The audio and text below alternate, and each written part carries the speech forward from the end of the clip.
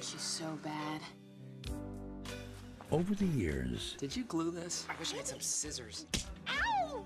Andy Stitzer has lost a lot of girlfriends. it tickles. I'm sorry. But there's one thing he never lost. Are you a virgin? Oh, you are hilarious. Mmm, this is good. You're a virgin! How can you go 40 years and not have sex? I just kind of stopped trying. We gotta help the man. We cannot let you go on being a virgin. sorry. You gotta highlight your attributes. Just wax that whole Teen Wolf thing off. No, Kelly Clarkson! Help! I hate you. Stop smiling. You look like a man-o'-lantern.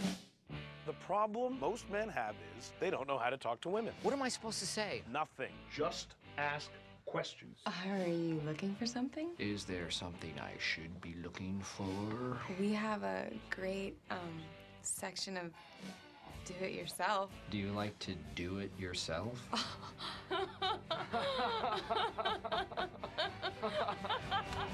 what am I talking about? You gotta go somewhere where every girl is looking for a guy. Welcome to Date a Palooza. I'm Andy, and you are Gina? Gina. Well, what's up? Okay. I like your shirt. You have kind eyes. You want to get out of here? Do think I'm pretty? Whoa, whoa! Look at me! Look at me! Ah. From Universal Pictures, I'm Trish. Andy, she gave me her number. My God, man! Party's over. Let's let the virgin get back to work. and the producer of Anchorman, We've given you all the advice we have to give. Now you gotta put it in action. comes a comedy that will touch you You have your hands on my belt. like you've never been touched before. Yeah, we gonna celebrate. Hey, you! Let's get out of here. Hope you have a big trunk, because I'm putting my bike in it.